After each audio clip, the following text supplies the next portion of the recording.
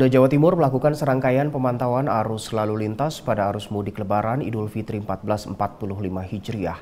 Salah satunya melalui jalur udara. Dirlantas Polda Jatim Kombes Komarudin menggunakan helikopter untuk memantau sejumlah titik yang rawan kepadatan.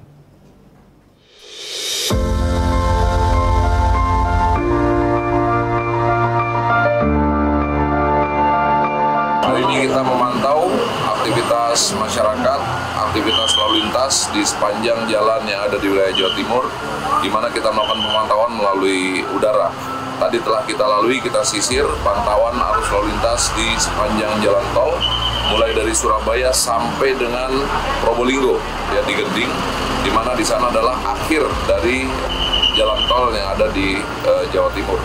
Di sana juga pertemuan, simpang tiga pertemuan antara uh, ruas lalu lintas yang ada di uh, jalan tol dengan arus lalu lintas yang ada di uh, arteri melalui jalur Pantura yang akan mengarah kepada Banyuwangi dan juga terus Banyuwangi. Dan saat ini kita sudah berada di Simpang Mengkrek. Pertemuan Simpang tiga pertemuan tiga kabupaten antara Kediri, Jombang, dan Nganjuk di sinilah yang sering kali terjadi permasalahan kredit karena memang ada beberapa permasalahan di antaranya adalah ada dua perlintasan sebidang jalur kereta api dengan intensitas per hari sampai dengan 40 perlintasan. Yang rata-rata setiap setengah jam sekali ada perlintasan kereta api.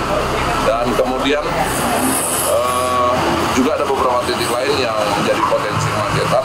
Oleh karena itu telah dilakukan berbagai upaya rekayasa arus lalu lintas serta CB-CB yang direncanakan oh, agar nantinya aktivitas masyarakat bisa tetap berjalan walaupun ada sedikit perlambatan.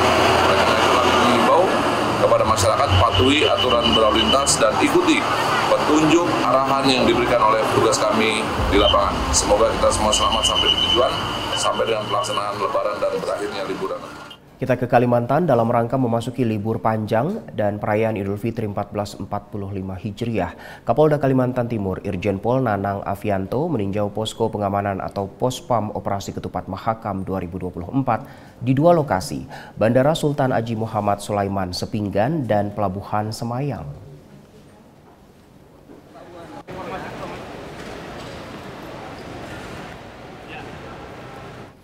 Kunjungan ini turut dihadiri Karo Ops Dirlantas, Dirpol Airut, dan Kabit Humas Polda Kalimantan Timur untuk memastikan keamanan dan ketertiban di objek vital ini.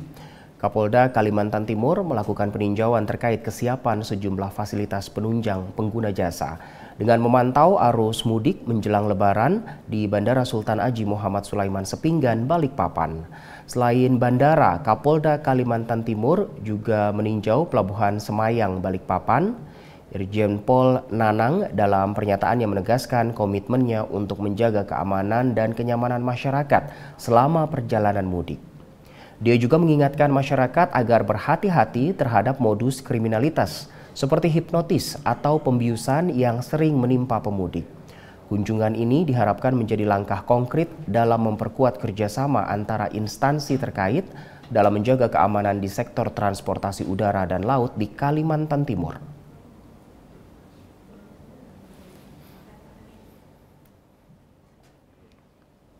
Kapolri melepas para pemudik yang tergabung dalam mudik gratis Polri Presisi tahun 2024 di lapangan Silang Monas, Jakarta Pusat.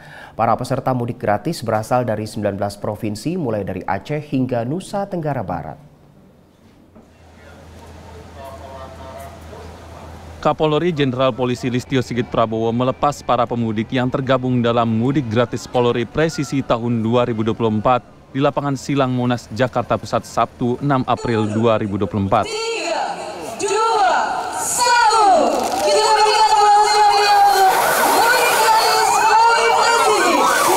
Hadir dalam pelepasan mudik gratis Polri Presisi 2024 ini Menteri Perhubungan Budi Karya Sumadi, Panglima TNI Jenderal Agus Subianto, Wakapolri Komjen Pol Agus Andrianto, dan Kakor Lantas Irjen Aan Sohanan serta Direktur Utama Jasa Raharja Rifan A. Purwantono beserta pejabat lainnya. Program mudik gratis dari Polri tahun ini diikuti oleh 58.350 orang.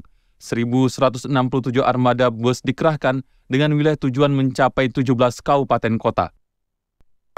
persiapkan untuk tujuan mudik di empat wilayah yaitu Jawa Barat, Jawa Tengah, dan Jawa Timur.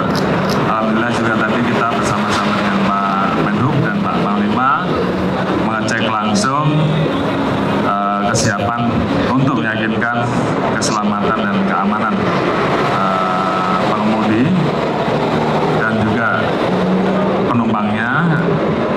Jadi sebelum berangkat dilaksanakan pengecekan terkait dengan masalah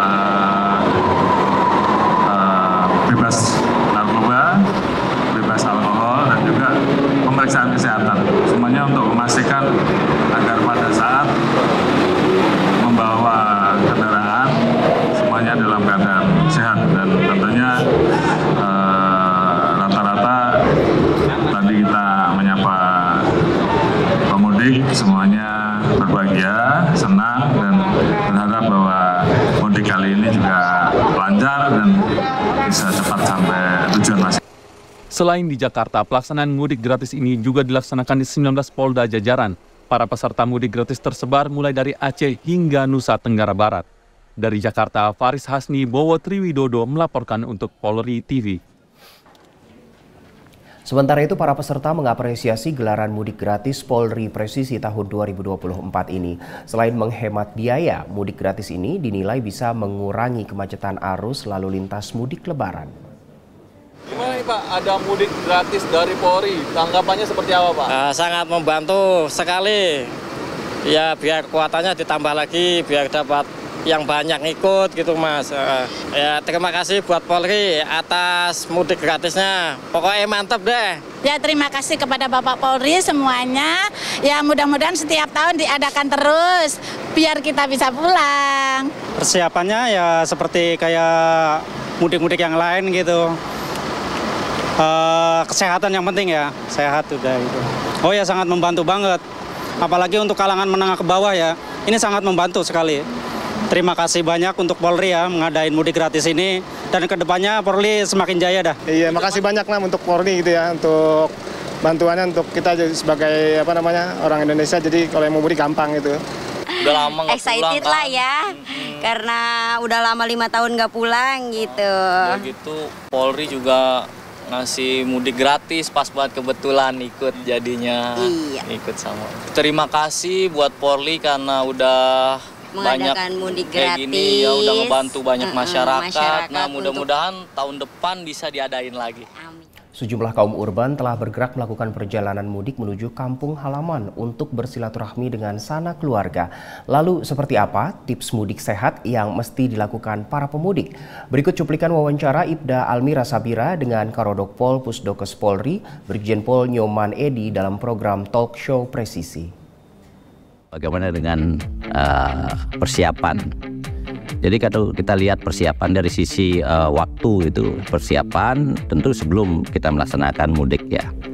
Nah, kemudian dari aspek itu kita bagi menjadi dua. Jadi persiapan dari sisi manusianya adalah tentu persi- persiapan fisik dan mental kan gitu ya. Uh, persiapan fisik itu uh, sebagai pengemudi atau nanti yang membawa seseorang misalkan sebagai pengemudi baik sepeda motor, uh, roda empat maupun angkutan umum tentu kita sangat uh, apa namanya uh, mengharuskan mereka uh, sehat secara fisik.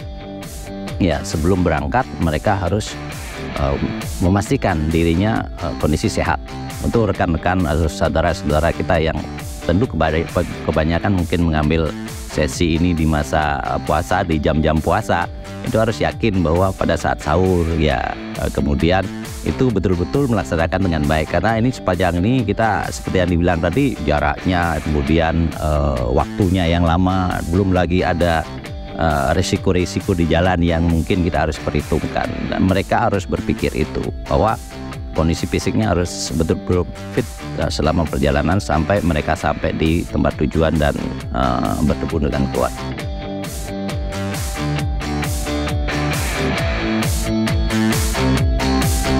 Selama perjalanan uh, seperti tadi ada dua hal yang harus kita kendalikan betul, fisik kita dan mental kita. Kita harus menyadari suatu ketika kita harus ada, berhadapan dengan pengemudi lain, kemudian ada apa di situ saling mendahului dan seterusnya. Konsentrasi dari pengemudi itu harus betul-betul terjaga ya dok nah kemudian ini harus tetap dijaga kemudian eh, mental kita bahwa kita akan berhadapan suatu misalkan situasi macet. Ya mungkin kita setting. Kalau bahasa saya itu bahasanya untuk uh, mengurangi uh, biar kita tidak apa namanya tidak ilfil gitu menghadapi macet. Karena ini memang resiko yang harus kita hadapi. Jadi kita anggaplah itu berbagi tempat ya. Dalam satu ber, berbagi tempat ya. Jadi kita menyadari kita sedang berbagi tempat sama orang dalam satu situasi yang sempit. Jadi kita saling desa-desaan apa apa kemudian jika kita uh, mengalami sesuatu kendala tentu kita harus kita tahu juga ini rest areanya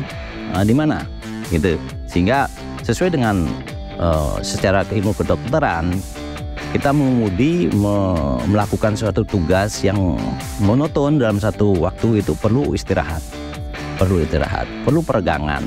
Nah, kita di kantor pun kita duduk begini ngerjakan sesuatu di kantor dua jam itu mesti ada harus ada peregangan kan gitu. Begitu juga sepeda motor, uh, begitu juga kendaraan mobil roda empat. Jadi kita perlu peregangan, kita istirahat. Bahkan dalam undang-undang uh, lalu lintas dan anggota jalan itu dalam pasal uh, 90 kalau tidak salah itu ada ditentukan untuk pengemudi umum terutama anggota umum yang membawa penumpang dan seterusnya itu uh, maksimal uh, berjalan 4 jam mereka sudah harus uh, istirahat minimal 30 menit. Nah tentu ini juga berlaku bagi uh, pengemudi uh, angkutan keluarga misalkan sepeda motor misalkan. Mungkin justru lebih uh, dua jam misalnya. Kalau kita sudah merasa capek konsentrasi menurun jadi tidak ada salahnya untuk uh, berhenti di rest area yang sudah ditentukan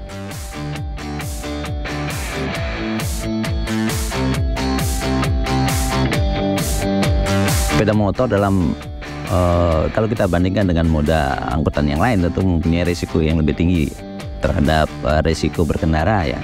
Tentu dia terpapar ter, terpapar segala hal. Itu ya tidak ada pelindung gitu ya. Kemudian uh, dari sisi pengemudinya sendiri kita pastikan dia menguasai betul kendaraannya. Kan gitu dia punya lisensi dia punya SIM dan betul-betul dia menguasai kendaraan ya. Kedua Uh, sama seperti yang saya sampaikan tadi terkait dengan uh, kesehatannya dia harus yakin sepanjang jalan ini dia harus bisa melaluinya dengan baik. Uh, dia juga harus berpikir bahwa sepanjang perjalanan ini kemungkinan dia akan menghadapi seperti tadi hujan dan seterusnya, ya, sehingga dia harus pakai mantel, kemudian atau jaket, kemudian sarung tangan misalkan, kemudian sepatu dan seterusnya, sehingga bisa melindungi dirinya terhadap uh, paparan dari cuaca misalkan hujan atau angin dan seterusnya. Tidak uh, kalah pentingnya tentu helm ya helm karena risiko ini memang harus kita hadapi gitu. Nah kalau memang terpaksa menggunakan sepeda motor gitu. Sebenarnya kalau dari sisi teknis juga kaitannya manusianya dengan kendaraannya gitu ya kita mungkin sepeda motor itu kan ada banyak jenisnya. Nah, dalam perjalanan jauh sebenarnya sepeda motor ada jenis-jenisnya yang kira-kira cocok untuk perjalanan jauh. Ya namanya sepeda motor touring dan seterusnya kan? Itu posisi stangnya juga berbeda. Itu uh, ergonomis itu ya untuk sepeda motor. Nah ini juga menyangkut uh, mempengaruhi bagaimana uh, kekuatan kita untuk uh, mengendalikannya dia. Kalau motor sport karena bentuk stangnya di bawah begitu dia pasti akan cepat lelah dia lebih cepat lelah gitu karena tidak diperguna tidak diperuntukkan untuk kena, uh, jarak jauh dan waktu lama gitu. Nah, justru stangnya agak tinggi ergonomis sehingga dia uh, lebih nyaman dan kemudian faktor fisik kelelahan itu bisa dikurangi ergonomis istilahnya antara posisinya dia pas dengan uh, setelan apanya posisi yang nyaman dalam waktu yang lama itu adalah aspek ergonomis namanya.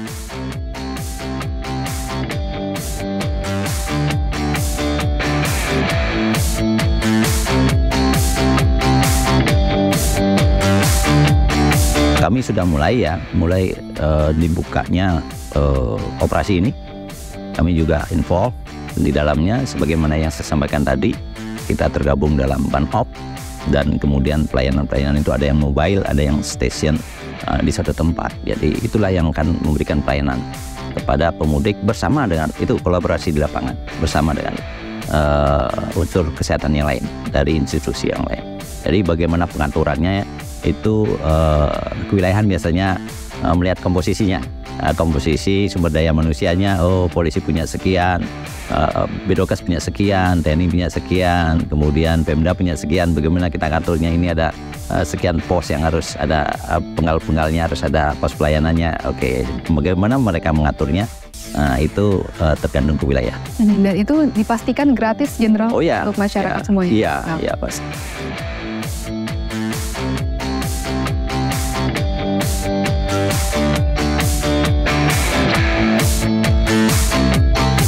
Sudah hadir ke studio Polri TV Brigjen Pol Nyoman Edi, spesialis forensik, Diploma Forensik Medicine, Karodok Pol Pusdakos Polri untuk membahas permasalahan dan persoalan seputar kesehatan para pemudik. Jenderal, apa kabar Jenderal? Sehat, Jenderal? Ya.